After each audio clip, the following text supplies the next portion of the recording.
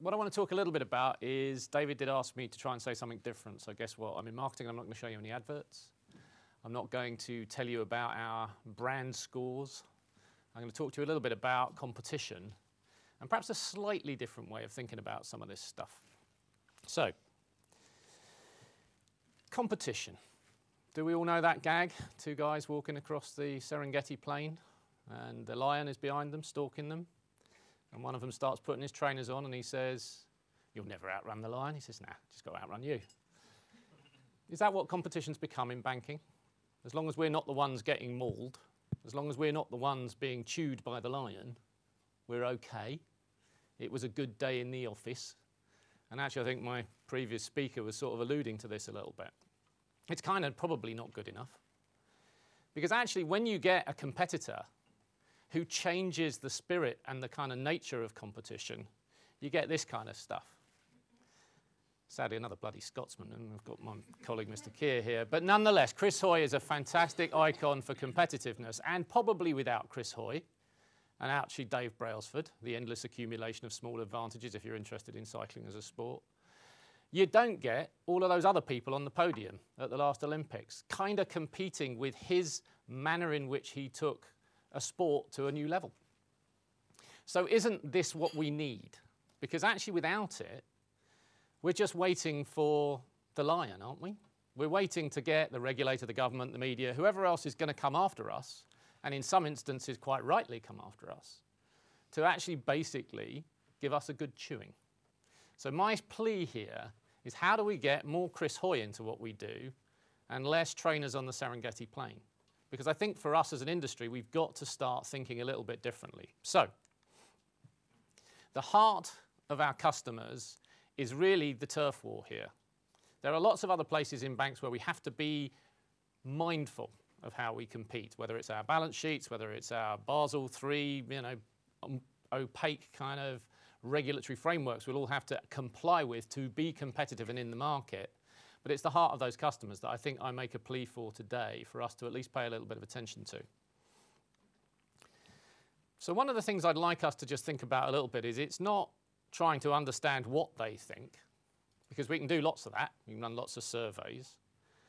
One of the things that I think is important is we need to understand a bit better about how they think. And one of the things we've been doing some work on at HSBC is some of this behavioural economics. There was an occasional paper by the FCA. There's been a lot of talk about all of this. In fact, actually, Alan and I were doing some stuff with a, one of the senior excos in the bank a little while ago on this very subject area, just to get some folks to try and think a little bit differently about how customers use the cues they have, of which brand is a really important one. But there are other things. And it's in this whole management of brand that we now have to start to look at how they approach our category how they approach our products and services. And actually, at the end of the day, I think one of the things that's important is we don't think as much as we think we think. So this is a little bit of work that we've done with a company called BrainJuicer. So I'm stealing some of their charts just to see whether or not this chimes with any of you. I'm not saying I'm definitively right, or we've got a view. But the human brain is a peculiar thing. Obviously very complex, very difficult to understand. Not saying I've got any great insights into it particularly, but this is from somebody else's very good work. So, in the spirit of standing on the shoulders of giants, let me take you through a couple of little exercises for you to see that actually there's a very important part of our brain that in a book called Thinking Fast and Slow, a man called Daniel Kahneman, the only ever psychologist to win an economics Nobel Prize, he talks about what they call system one and system two thinking. System one is your intuitive brain, all the things you use that are simple cues to get you to simple pieces of logic, simple things you can make decisions around. And system two is about saying, give me a bit of paper, I'm going to need to work this out. Okay? So system one and system two operate in very different ways. And we use them in very different ways, but we use them quite, particularly system one, we use it very fast. And in fact, actually, in things like a supermarket is a very good example, and lemons are a very good example. So if it says three lemons for a pound, and you've come in for one lemon, you'll put three in a bag. Because you don't know really whether you get charged 50p for the one at the till or whether or not it's three, but it doesn't really matter that much, not much risk in it, I'll put three in a bag. That's a piece of behavioural economic theory that says system, system one is in operation, someone sort of told me to buy three lemons. It doesn't really matter. Let me try another little puzzle on you. There you go, a bat and ball costs one pound 10p or one dollar 10 cents. The bat costs a dollar more than the ball. How much does the ball cost? Now, you're all probably very clever and you probably got it right. But quite a lot of you might have found an intuitive moment where you said, oh, it's a pound and 10. No, it's not. Because of course it isn't. But our brain tells us that that's the easiest answer to find. But the way the question is worded, if you put system two thinking in, you'll get 105 and 5, of course. But actually, at the end of the day, your system one brain immediately probably gave you a pound and 10p, but you possibly, if you're clever enough, probably thought, well, that's probably not right, because it isn't, when you go back and check it. So essentially, that's part of how people use intuitive judgment. And we actually have a very reptilian sort of brain as well as, as animals. And actually in this, one of the things I'll do to trigger your reptile brain, although this may work, may doesn't, doesn't work with everybody, how honest you all are is another good thing too, is actually what you can then see. So this is a piece of motion that triggers a piece of your reptile brain, okay? Don't know what you can see there. You might be able to see something. You might be able to see nothing. Your reptile brain works on some very fundamental, simple triggers like motion. So when I press that, should work. Oh, no, and hang on. Can I go back, please? My charts. Maybe it works. Doesn't that work? No, let me try. That's not going to do it. Never mind. Apologies for that technical glitch.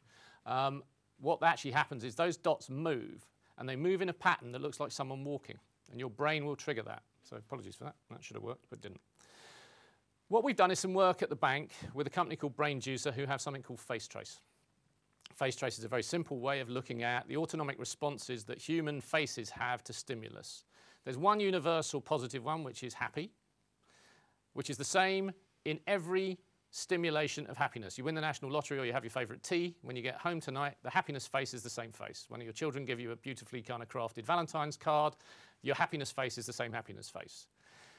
Other autonomic responses require much more complex response from you as an animal.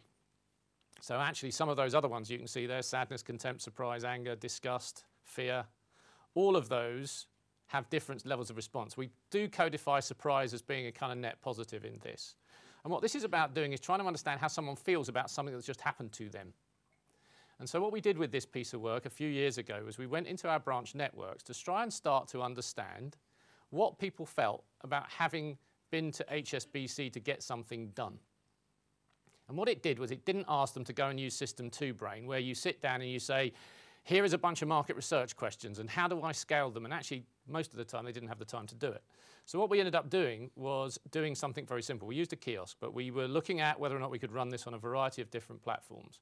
We garden walled it outside of the bank's IT system. We asked you to go up and do three simple things. Tell us how you felt about the experience, what kind of customer you were. Were you one of our premier customers, our what's called advanced customers, one of our banking customers or business customer? And what had you come in to get done today? It literally took you 15 seconds to do it. We did allow you an open-ended thing if you wanted to say anything at the end of it all. And what this started doing was starting to help us understand a little bit about some of the things that people face when dealing with banks and starting to understand a little bit better about how people felt at different situations where the bank is there to either help them or not. So actually start to really get an emotional response to our things. We use this for ad testing, but this was something we used for service testing. This is a very interesting set of charts. It's very complicated, I apologize for that. But one of the things that's really important, and the psychologists got onto this in a second at BrainJuicer, so they're essentially psychology academics. One of the things that's on here that's really interesting is if you look across here, these are all of the different things. Now, luckily, quite a lot of them are happiness ones. But to that extent, I think, you know, my colleague from Tesco just now mentioned the fact that actually transactionally we're quite good. So if you come in, you get done what you get done, you'll get happy as you walk out the door. It's fine. So a lot of the time it is positive. But when it's not, and particularly obviously making a complaint was never going to be positive, but for some people it was because they possibly got listened to. But one of the things that was very interesting here was, for instance, in coming in for a mortgage quote, we got contempt, which is the highest order of negativity. And one of the things that the psychologists were very interested in was a contempt is based on you judging me as a person and my ability to look after my family. So actually what we were now starting to understand is negativity has an important understanding about how we might choose to turn you down for a mortgage quote. So maybe it's not computer says no, maybe it's no, maybe, maybe it's yes or maybe. Maybe we need to talk to you about how much you're trying to borrow here, Mr. Clark, because actually at the end of the day, it's possibly not good for you that you want to borrow this much money. So actually, at the end of the day, what we've got to do here is learn a little bit more about the impact we have on people. Interestingly, travel money was very simple things, such as, you know, sadness, which is just, it's inconvenient. You buggered up my travel money. My Turkish lira didn't show up at the branch. As you said, I'm going to have to go to Thomas Cook at Stansted Airport. What a pain in the bum. It's slightly different to being turned down for a mortgage that your wife has sent you in there or your husband sent you in there to go and get this mortgage sorted out because we love that flat. We love that little terraced house. And now I say to you, no, we're not going to give it to you. It's an awful personal moment. And we as an industry have to understand some of this sort of interactions a bit better. And a lot of this can take place equally in the digital channels as it can in the face-to-face channels. But this was stuff we were doing for branches just to get some learning. Some of the things we did actually ask for was some feedback from customers generally. And generally, banks are quite scary places potentially. So fear had some of these kinds of things. Actually someone was clearly walking into the branch and we didn't ask them to tell us who they were and we didn't want to go and chase them down afterwards. But we were looking for verbatim comments from customers about how they felt at some of these moments. And fear got everything from bank may repossess my house. So maybe they're behind on their payments. How do we start to understand how to manage those things? And by the way, I do believe that banks have a right to be able to do things that allow them to repossess people's homes or to foreclose on businesses. We take your deposits and we put them in a place and we take those deposits and we lend them to somebody else. That's the banking system. And as a deposit holder, you wouldn't like the idea that we turned around to you and said, awfully sorry about your deposits. They were such nice chaps who started that small business or had that house that couldn't pay the mortgage on. We're not going to ask them for the money back, so you're going to have to suffer as a deposit holder. That is completely unacceptable within banking. And therefore, as a business, whilst we can look at the way in which perhaps a great retailer like Tesco does business, we have to understand there's some hard bits of our business that do impact customers. But it is a reality of banking. It is not something that you can move away from the equation. How much you put it front and center is another thing altogether. Importantly also, some of these other ones, I'm not going to go through these in great deal of detail, but contempt had a whole load of things. We had some music in our branches at one stage, variety of different things that were there they didn't like. What we found with disgust was lots of little things that irritate people. And I think for many of us, those things in great service businesses are important for us to get right. If you went to a hotel and it was a decent hotel, there was no toiletries in there at all, there was no shampoo, there was no soap, there was only one towel, which are the basics of hoteling, you'd sort of feel, the fact is, you know, poor print out of receipts, all this kind of stuff. We need to make sure that what we are doing is paying attention to some of the simple hygiene factors as well when we serve our customers. One of the other things we did discover, and this is just one branch, was we have some very powerful leaders. And actually what happened here was in week four, the branch manager was on a two-week holiday. And he was a terrible delegator. He had nobody in his branch who used to take over from him in any effective kind of way. He was actually very good. He used to walk around the back and tell folks, stop eating your sandwich, would you mind going back out the front, please? But when he was away, that didn't happen. And so equally understanding actually the roles of some of our leadership in this. So we learned a great deal from all of this. Did we apply all of it? No. But nonetheless, I think it's beholden on us as an industry to learn a little bit more about the impact we have on people and can have on people. We talked earlier about whether or not brands are ever as kind of interesting in financial services as Apple. Well, they're not. But the things we deal with are. Whether it's your home, your children's education, your retirement, whilst they're not as sexy, they're much more important. If I said to you, you can have a really nice retirement or an iPod, you can have a really nice home or an iPod. You can have a really good education for your children or an iPod, right? It's not much of a contest. And a bank is a facilitator of those things. And of course, it, you wouldn't ever look to put those two things side by side and make that choice.